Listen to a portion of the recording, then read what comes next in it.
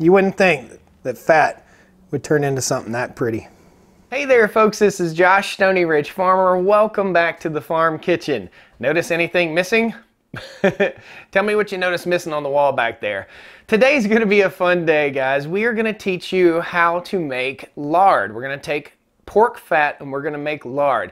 So when we cook here on the farm, and if you didn't catch the last video in the series in the kitchen, we did this. We restored cast iron cookware. It was super awesome, super fun, guys. I'll post a link to it at the end of this video.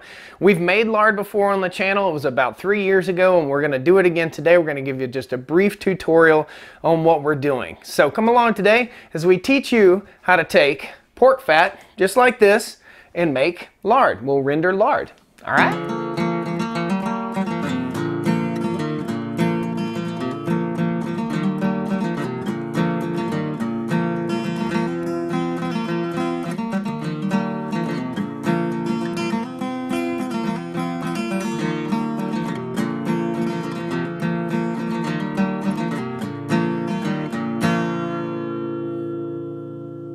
All right, guys, welcome to the Stoney Ridge Farm. If this is your first time to the farm, welcome. We're on 150 acres here in the foothills of the Blue Ridge Mountains in North Carolina. We're building a first generation farm. We have cows and chickens right now, meat birds and laying hens, and we're gonna have hogs and all kinds of stuff, goats, all kinds of fun stuff here on the farm. So if you're not subscribed, jump in, pound the like button and subscribe to the channel. You're gonna miss something if you don't.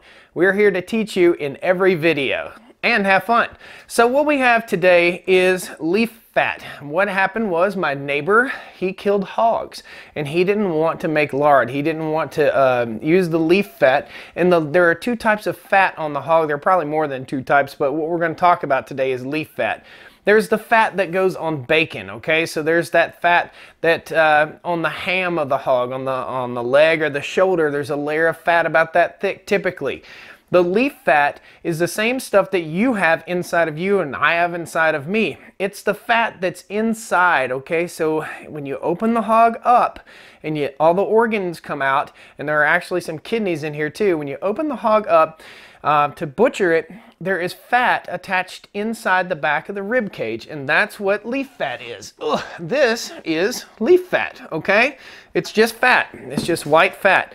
So what we have to do is take these huge chunks of fat and we're going to take a big butcher knife like this, a big cooking knife, and we're also going to be using a small paring knife and we're going to take these huge chunks of fat and we're going to cut them up into little cubes about that big, about two inches by two inches, and then we're going to cook them down. So we'll talk a little bit about how you cook them down after I cut them up. This can be a bit of an overwhelming task for some people, so that's why we have the big butcher knife, guys, and the butcher's worst enemy is a dull knife, so make sure your knives are nice and sharp, okay?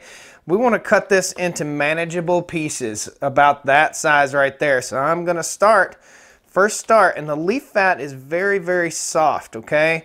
What you want to do is you want to put this in the refrigerator and let this get a little bit hard. So if it's at room temperature, you're going to have troubles, all right? We're going to take this leaf fat and we're going to cut it into sections that are more manageable for us to use. Now you'll notice while I'm cutting this up, I'm going to speed up the footage here in a minute, but you're going to notice that uh, there's some little specks on here. There might be a hog hair on here or something like that. So you want to make sure that you get all of that stuff out of there. And that's why you're cutting it up and dicing it up into little pieces.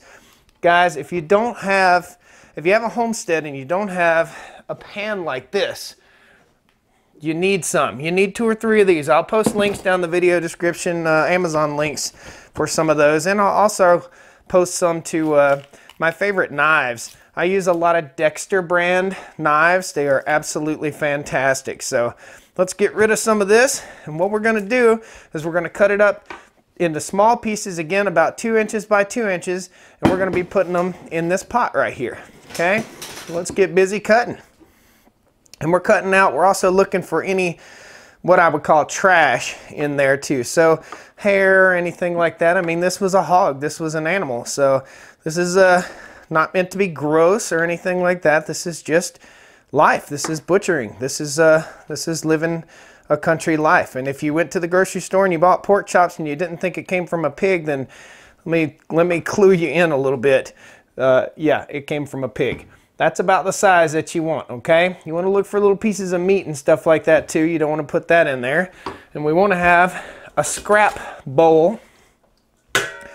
Right here's our scrap bowl. We'll set it right here. And any pieces that we don't want, we'll discard them in the scrap bowl and they will go either in the trash or in the woods for the raccoons. Raccoons got to eat too. Let's get busy.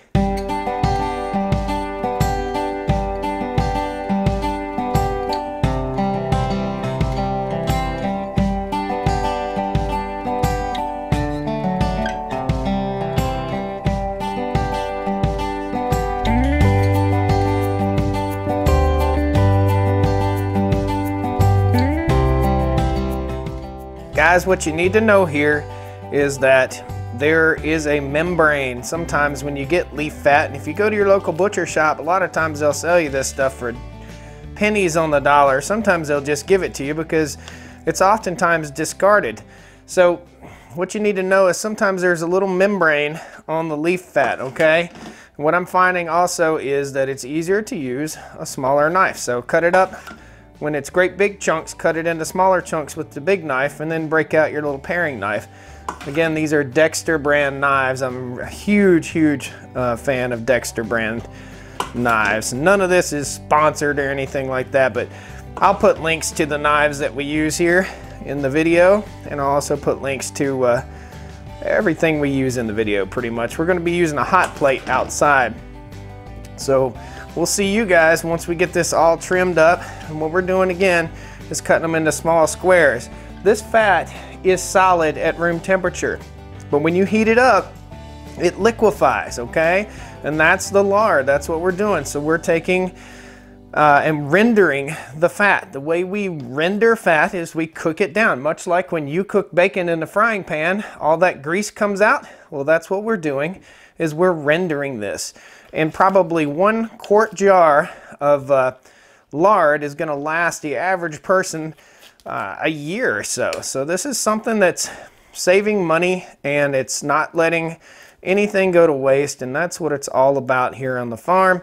Uh, we don't waste feed, we don't waste animals, we don't waste uh, anything. So that's what it's all about, not throwing things away. Oftentimes some of the best parts are the, are the things that people throw away. We learned this here on the farm. And if you've got a cutting board you want to have seasoned, let me tell you what, this cutting board is going to be a rock star. Now we were going to use a cast iron skillet uh, that we cleaned, a cast iron pot that we cleaned, but the cast iron pot that we did uh, in yesterday's video, or day before yesterday's video, uh, ended up getting a hole in it. I kind of tapped on it with a screwdriver and it poked a hole in it. it. It was so sad. We're getting there.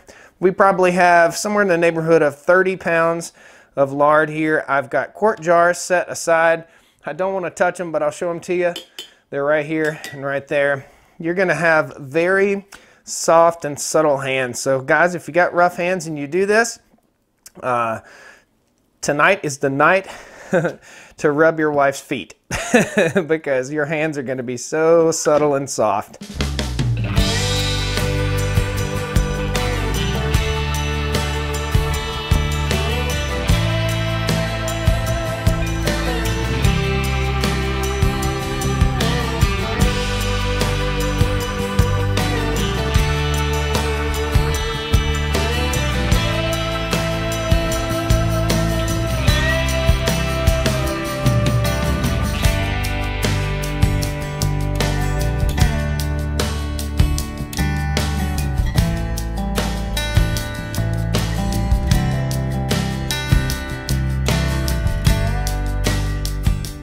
Okay guys, here's your educational moment. That is a kidney. That's what a kidney looks like. Here we are, we're doing this outside, so that is our lard all cut up, or our leaf fat all cut up. It's not lard yet, it'll be lard in a minute. What we're using here is just a hot plate here. This is a Toastmaster hot plate. We could do this on a wood stove. It's just not cold enough, but we really don't want to do this inside. I've got this on a cart. This is a Titan uh, attachments shop cart and it's super duper handy, super sturdy. I can lay on this thing, it's really tough. We probably have eh, 25 pounds of uh, pork fat here.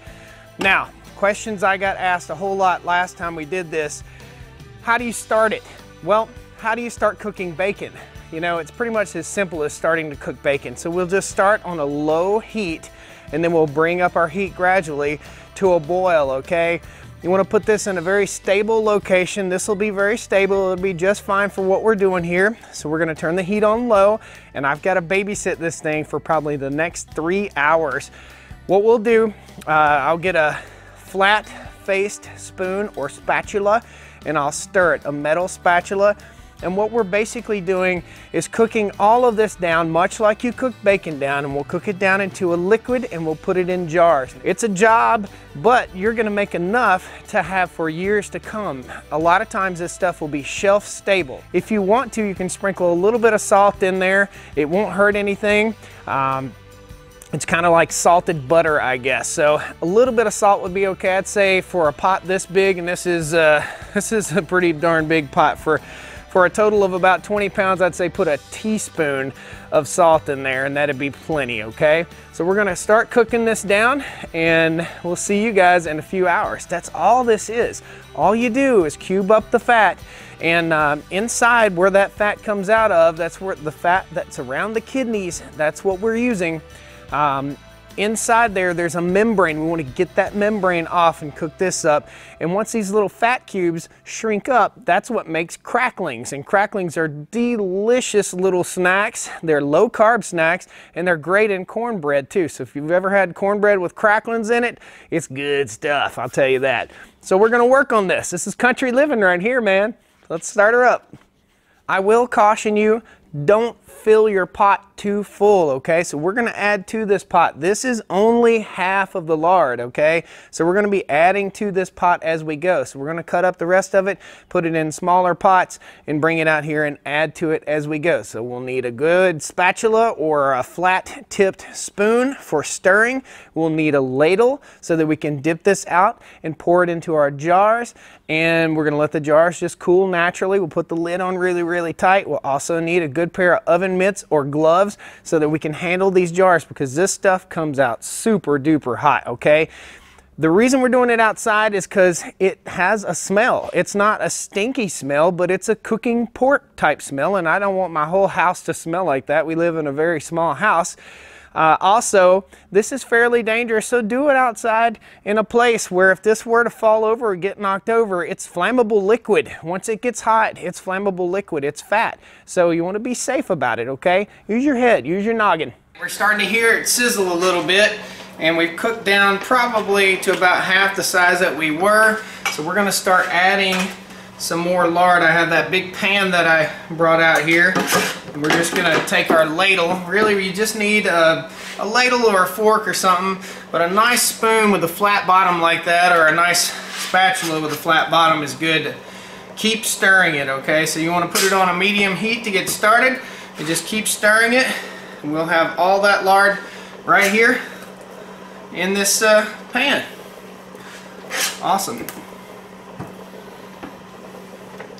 Alright, we'll see you guys once it cooks all the way down and we start scooping it out into our jars. And we're going to be using a little jar canning type uh, uh, funnel for that, okay? Be careful, this stuff's hot, man. You can really hurt yourself, so you got to be smart. You got to be careful, alright?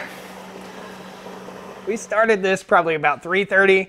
It's now 9.15 at night, and we're finally getting to the point where we can start jarring this stuff up. So I want to show you, I poured some, this stuff is absolutely beautiful. I poured some in some jars. Let's get the big one.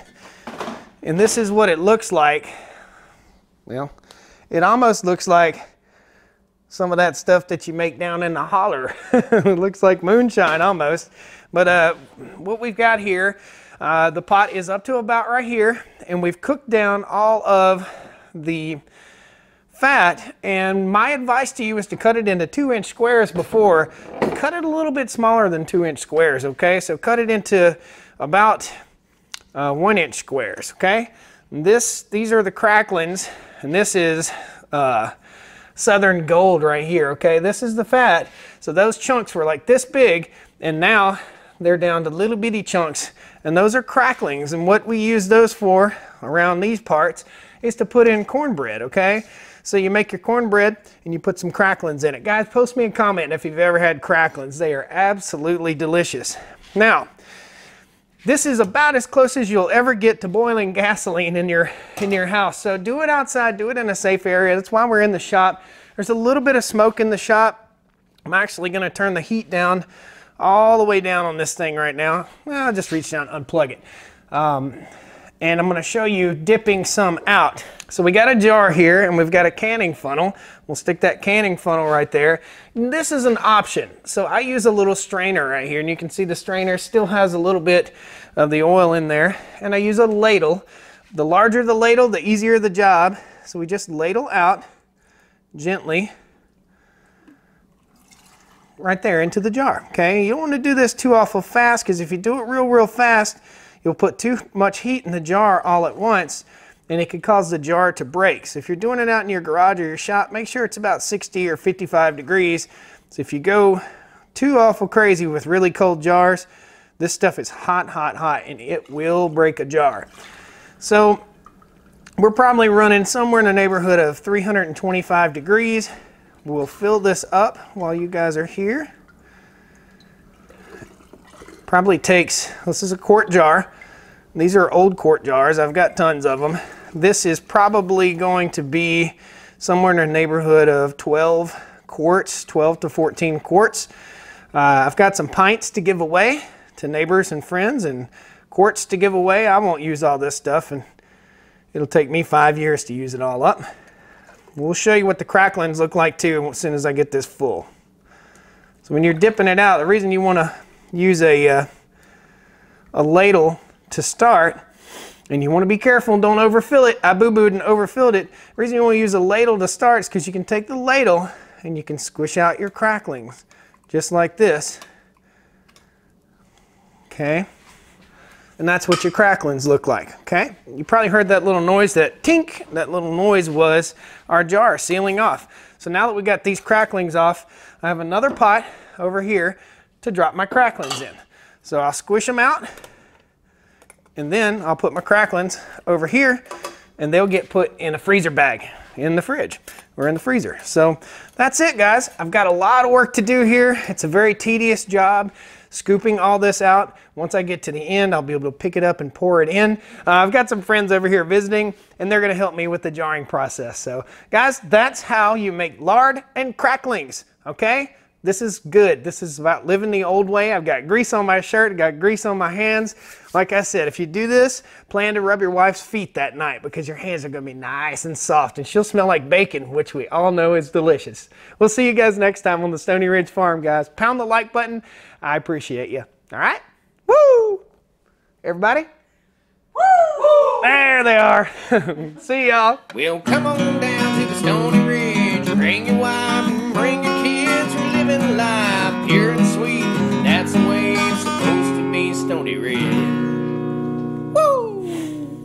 Guys, when you put the lid on, you do it just like that. You want to hold it with a rag or a glove or something. You want to put it nice and snug, and this will seal itself, okay? Isn't that beautiful? Look at that. That is absolutely awesome. You wouldn't think that fat would turn into something that pretty.